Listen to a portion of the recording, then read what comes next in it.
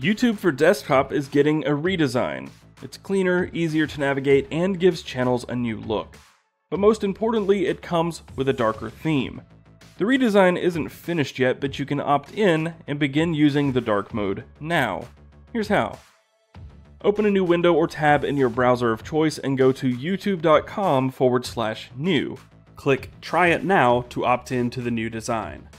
This redesign removes the redundant three tabs on the YouTube homepage, tightens up the design in general, and uses larger typeface across the board.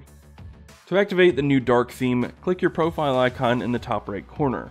In the drop down menu that appears, click Dark Theme, then click the toggle beside Activate Dark Theme. All the light parts of YouTube will become varying shades of dark gray. Your settings will be remembered the next time you visit YouTube from the same browser, but the dark theme will need to be enabled for each browser or computer you use. If by chance you aren't fond of the new design on YouTube, you can revert to the original by clicking on your profile icon in the top right corner once more and clicking Restore Classic YouTube at the bottom. Give a reason for why you want to revert and click Submit. For how-tos and other tips and tricks, be sure to check out cnet.com forward slash how-to.